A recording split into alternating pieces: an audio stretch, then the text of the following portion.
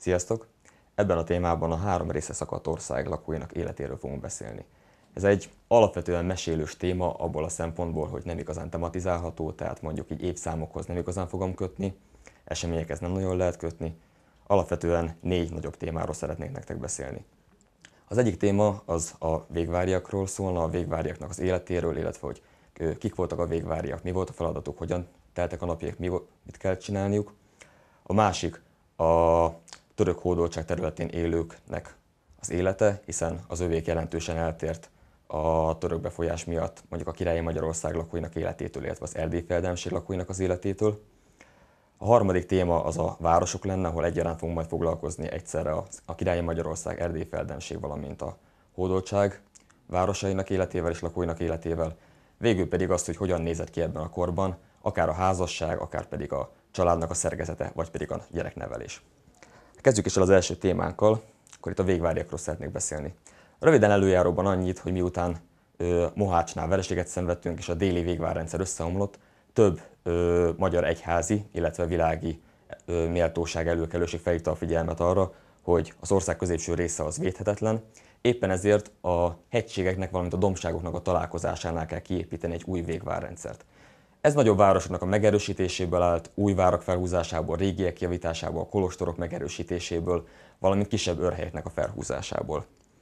Igen, de kik voltak azok, akik ezt védelmezték, akik ezt rendben tartották?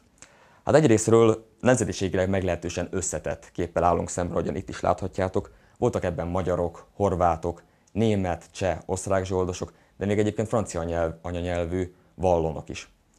Amikor a magyarokról beszélünk, akkor Nyilván elszegényedett nemesekről kell beszélnünk, akik elmenekültek a törökök által meghódított területeikről, tehát elvesztették a birtokaikat, céhes legényekről, menekült parasztokról, polgárokról, akik abban reménykedtek, hogy itt talán akár revansot tudnak venni a törökön, akár könnyebb életük lesz a későbbiek során. Mennyi emberről beszélünk? Ez nagyjából ez a végvárrendszer 15 ezer embert tudott úgymond foglalkoztatni. Most ezeknek a katonáknak az volt a feladatuk, hogy az országot védelmezzék. Tehát amikor kiépült a végvárrendszer, az ő feladatuk volt az, hogy a török támadásokat visszaverjék, akár nagyobb seregeket, de ami mégis a hétköznapok része volt, hogy a török várokból kirajzó kisebb portyákat visszaverjék, illetve amennyiben a török magyar területeken elkezdett rabolni, embereket, állatokat elhajtani, az ő feladatuk volt az, hogy akár válaszcsapást mérjenek, akár pedig egyszerűen az elraboltakat kiszabadítsák és a törököket visszaverjék. Ez volt tulajdonképpen a végváraknak a romantikus, a végvári életnek a romantikus része. Tehát ehhez tartoztak a csaták, illetve a párviadalok egy-egy magyar, egy-egy török között. Viszont természetesen voltak ennek kevésbé romantikus részei. A végvári katonák nagyon-nagyon rosszul voltak fizetve, sok esetben elmaradt a zsoldjuk a fizetésük. Magukat, magukat és a családjukat azonban fent kellett tartaniuk, ennél fogva nagyon sokszor az általuk védelmezett parasztokat kellett konkrétan kirabolniuk, akár magyar területeken, akár török területre becsapva a saját parasztjaiktól. Na már most, a, ehhez még ugyanúgy egyébként a kettős adóztatásnak a feladata is, az ő feladatuk volt az, hogy a török területeken élő magyaroktól is behajtsák a magyar területeken élő magyar nemesek számára az adót, de erről majd kicsiket később. Későbbiek során egyébként belőlük fog kialakulni az úgynevezett vitézlőrend. Tehát amikor arról beszélünk, hogy végvári katona, akkor itt nyilvánvalóan a családtagokról, a családjaikról is beszélnünk kell. Ez velük együtt pedig egy nagyjából százezer fős társadalmi rétegről van szó. Itt a bal felső sorokban láthatjátok Balasi Bálintot róla, említettem azt, hogy több versében is megörökítette a vitézi életet, a végváriaknak a vitézi életét. Jobb felső sarokban végvári katonákat láthattok, de egyébként ez egy meglehetősen romantizált kép, tehát ö, valószínűleg ennyire drága ruhájuk, kacag, kacagányuk, fegyverzetük nem volt egyébként, tehát egy jóval alacsonyabb társadalmi rétegről beszélünk, amely nem engedhette meg magának ezt a fajta ruházatot. Bal alsó sarokban, ahogyan említettem nektek, ugye létrejött a végvárrendszer, és az itt lévő várban, váron láthatjátok azt, hogy milyen, milyen fajta újításokat vezettek be a várok felépítésénél. Ez egy rendkívül modern, úgynevezett olasz bástyás vár, ami egyébként mondjuk a végváraknak a 5%-ára volt jellemző, tehát elvétve voltak ilyesfajta váraink. Jobb alsó sarokban pedig a már említett párviadat láthatjátok magyar és török között, amely elsősorban a virtuskodásról szólt. Most beszéljünk akkor a török hódoltság területén élőkről. Volt ugyan török betelepülés, települtek be ide balkáni népek is, azonban ez elsősorban a városokat, tehát mondjuk így Pécset, Budát érintette, ahol meg is hagyták egyébként a nyomaikat a törökök, akár mondjuk mecsetek, dzsámik, vagy pedig török fürdők képében. Azonban látni fogjuk azt, hogy annyira komoly nyomot mégsem tudtak hagyni az itt élőkön. Megpróbálták bevezetni a török közigazgatást. Ehhez kellett az úgynevezett kádi, vagy esetleg a mufti, akiknek az volt feladata, hogy a Korán, tehát a muszlim imakönyv, vallási könyv alapján igazságot szolgáltassanak az embereknek. A másik ilyen tisztségviselő volt az úgynevezett defterdár, a török adószedő, akik úgynevezett defterek, tehát ilyen kicsi pénzügyi könyvek alapján vezették azt, hogy mely területeknek, illetve mely ö, csoportoknak hogyan kell adózniuk. Ezekből egyébként kiderül egyértelműen az, hogy a lakosság az állandóan csökkent ezeken a területeken, éppen ezért egyre kevesebb bevételi forrása volt az itt, ö, tevék, itt élő és itt minket megszállva tartó törököknek. Akkor beszélnünk egyébként a vilájetekről, amely a török közigazgatási központ volt. Magyarországon a hódoltság területén a legfőbb közigazgatási központ és a legfőbb vilajet egyébként a budai vilajet volt, én a budai pasával. Vilajetek élén egyébként a pasák álltak. Na már most azok a magyar emberek, akik végül is úgy döntöttek, hogy nem menekülnek el, nem válnak be végvári katonának, hanem megmaradnak a hódoltság területén, azoknak eléggé nehéz sorssal kellett szembenézniük. Egyrésztről ö, fizetniük kellett 50 akcsét rendszeresen a helyi török földesúrnak. Egy akcsa az egyébként egy ö, 50 akcsa elnézést, egy magyar aranyforintnak felelt meg. Vele együtt pedig ugyanúgy továbbra is kellett fizetniük az úgynevezett tizedet, mind az állatok, mind pedig a termés után. Ezen kívül egyébként rendszeresen kirendelték őket a várak, török váraknak a rendbetételére, építésére, utak, hidak karbantartására, másrésztről pedig fuvarozniuk, kell, fuvarozniuk is kellett a török tisztségviselőket, ami pedig igazán nehézé tette esetleg az életüket, az az, hogy rendszeresen meg is kellett vesztegetniük a törököket, úgymond ajándékokat kellett nekik adni. Amennyiben nem jól látták el a feladatukat, vagy valamifajta mulasztást ö, tettek, ugye a magyar előjárót, a bírót fejezték le a törökök. Írtam itt nektek azt, hogy a városok hanyatlása jellemző, tehát alapvetően erre a területre egy város típus, az úgynevezett mezőváros volt a jellemző, amely egyfajta átmenet egyébként szerkezetét tekintve a falu, illetve a hagyományos értelemben vett város között. A terület az fel volt osztva, tehát a középső területeken, amelyek a leginkább védhetőek és a leggazdagabbak voltak, tehát így Nagykőrös, Cegléd, Jászberény, Kecskemétnek a térsége, a szultáni birtok volt. Az, az közvetlenül a, a szultáni udvar kincstárának adózott.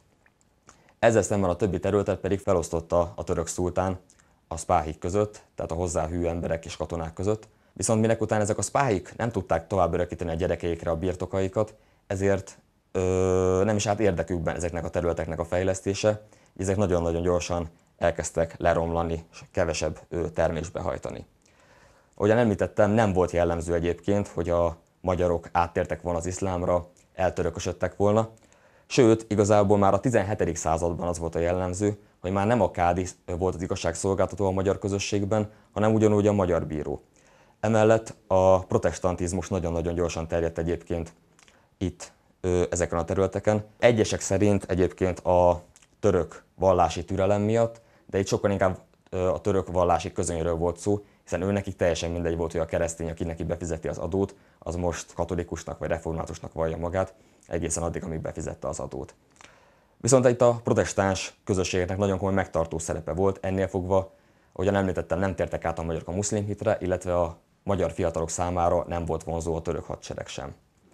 A kettős adóztatás pedig, amit már korábban említettem, az nagyon komolyan megterhelte az itt élőket, hiszen nem csak az a tizeddel, nem csak az akcséval, nem csak fuvarozással tartoztak a törökök felé, hanem bizony ugyanúgy adózniuk kellett a magyar urak felé, akik elmenekültek a birtokaikról a törökök elől.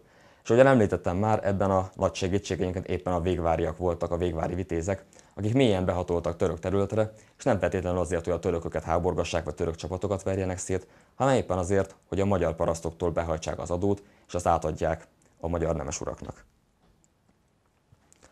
Ezen a térképen láthatjátok egyébként a villajetek elhelyezkedését. Ilyen jó szemléletes térképet egyébként angol nyelven találtam, de itt láthatjátok rajta egyébként mind a budai villajetet, egri villajetet, később kialakuló váradi villajetet, temesvári villajet, valamint a kanizsai villajetet. Tehát itt a felosztást láthatjátok egyébként, hogy ez hogyan nézett ki. A jobb szélen láthattok egy defterdárt, tehát a török adószedőt. Itt középen lovon ő a spáhi, akik között, akik között szétosztotta kisebb birtokokat a szultán, bal alsó sarokban pedig láthatjátok a Kádit, tehát a török igazságszolgáltatás emberét. Akkor beszéljünk a városi polgárságról. Itt igazából, ahogyan mondtam, nem igazán van értelme szétosztani a királyi Magyarország, valamint erdélyi fejedelemség, illetve a török hódoltság városait. Egyszerre fogok majd beszélni, hogy hogyan nézett ki átlagos városi szerkezet és a városi társadalom. Alapvetően el lehet mondani, hogy egy városi társadalmat három részre tudunk osztani. Egyrésztről voltak azok, akiknek a városi vezetés és a város fő vagyona a kezükben volt. Bányavárosok tekintetében ők voltak azok, akik a piac tér környékén éltek, akiknek ott voltak házaik, megengedhették maguknak ezt a luxust.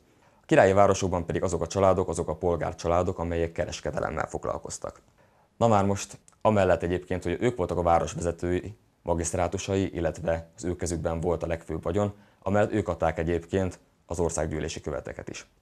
A középső réteget alkották a CH rendszabályok szerint élő C-tagok, illetve kézműves emberek, tehát tímárok, ötvösek, szabók, de még később egyébként a hintó készítők is. És végül egyébként a társadalom alján éltek azok, akik úgymond iparos legények voltak, iparosok voltak, munkások voltak, tehát az előző két rétegnek a keze alá dolgoztak, úgymond. A város külső részén élt további réteg, a fuvarozók, zöldségtermesztők, pálinkafőzők, magukat a városokat pedig egy laza láncolatban, ahogyan itt is írtam, körbeölelték a jobbágyfalvak. Na már most átlagos polgári családban egyébként kettő-három gyereknél nem nagyon született több. El lehet mondani azt is egyébként, hogy a városokban többen haltak meg, mint ahányan születtek. Ebben egyébként a betegségek mellett közre játszott az is egyébként, hogy az emberek alapvetően korábban haltak, illetve a háborús pusztítások következtében is ö, csökkent állandóan a városoknak a népessége.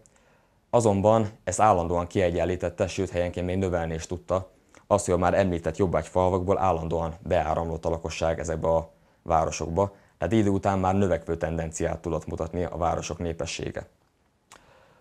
Ö, el lehet mondani egyébként azt, hogy igen, virágzott a csempészet, itt ezt írtam nektek, hogy perem területeken virágzik a csempészet. Egész egyszerűen az olyan dolgokra, mint például a só, a marha, vagy pedig a pálinka, túlságosan magas adó volt kivetve. Ennél fogva az emberek, főképpen a parasztok ezt igyekeztek megkerülni, ezért így az északkeleti megyékben, vármegyékben, valamint a Dunántúl északi részén ö, folytattak kereskedelmet az úgynevezett titkos kereskedőkkel, tehát tulajdonképpen a csempészekkel, így az adókat ilyen módon meg lehetett kerülni. Jellemző volt még egyébként a városoknak, hogy a zsidósággal szemben első Lipót, Habsburg császár, magyar király kiadott egy rendeletet, amelynek értelmében nem telephetettek le a városok, elsősorban a vár, bányavárosok területén, sőt, a városok 50 kilométeres körzetében szintén nem telepedhettek meg. Végül akkor beszéljünk akkor, hogy hogyan nézett ki család, házasság, gyerekvállalás, hogyan nézett ki a családi szerkezet, hogyan nézett ki a gyermeknevelés ezekben az időkben. Alapvetően még a 16. században az döntött még főuraknál mindenképpen, nemeseknél szintén, de még a módosabb ö, paraszti családoknál is, hogy mi a család érdeke. Tehát ezt nevezzük családi stratégiának. Mi az érdeke a családnak, kivel érdemes házasodni. Később azonban elkezdett elterjedni azt, hogy ő, már szerelem alapján házasodtak az emberek, tehát az, hogy kiválasztják, hogy ki kivel házasodjon, az már inkább az érzelmek alapján történt. Nem ez volt az elterjedt, nem ez volt a bevet, de már megfigyelhető a korszakban ez a fajta jelenség is. Hogyan nézett ki a házasság? Hát mindennek persze megvolt a maga, a maga szokásrendje mindegyik társadalmi rétegnél. Először is volt a leánynéző, volt a háztűznézés, készfogó, gyűrűváltás, majd a házassági szerződés, végül a lakodalom, amely természetesen az egyházi esküvő előzött meg. Ami összeköti esetleg mondjuk a főurat, a nemest, meg a paraszti családokat is, az az, hogy gyakorlatilag egy fedél alatt, ennek a fedélnek a nagysága természetesen eltérő, de egy fedél alatt élt több generáció. Egymás mellett él a nagyszülő, szülő, gyermek, atyafiak, rokonok. Ugyanígy a nemesi házaknál egymás mellett élnek a nemesi leányzók, nemesi fiúk, ö, akár úgy is, hogy unokatestvérek, másodunokatestvérei egymásnak. A házúra az egyértelműen a férj, a családfő, aki éppen a legidősebb férfi az adott családban, ő az, aki a családot igazgatja, viszont minek után ö, meglehetősen gyakran van távol. Most itt elsősorban természetesen a nemesi főúri családokról beszélek. Tehát amikor gyakran van távol, akkor levelezéssel tájékoztatja a családot arról, hogy hogyan kell igazgatni továbbra is a háznépét, de ő maga is elvárja egyébként azt, hogy őt is állandóan tájékoztassák, hogy mi történik otthon. Viszont amíg ő mondjuk távol van, tehát akár, akár mondjuk országgyűlésen, vagy mondjuk egy másik városba, más területre szólítja a dolga, akközben a gyakorlati tevékenységet egyébként egyértelműen a feleség, a ház úrnője végzi. Milyen szerepe volt egyébként a nőknek ezekben az időkben? Azt lehet mondani, hogy valamifajta szociális háló már ezekben az időkben elkezdett terjedni. Itt én arra gondolok, hogy például a végvári katonáknál a végvári katonák özvegyei, özvegyei azok részesedést kaptak mind a zsoldból, mind pedig a hadizsákmányból.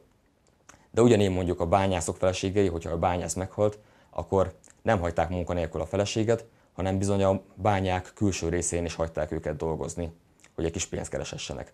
Ugyanígy mondjuk a CS tagok feleségei, ha a CH tag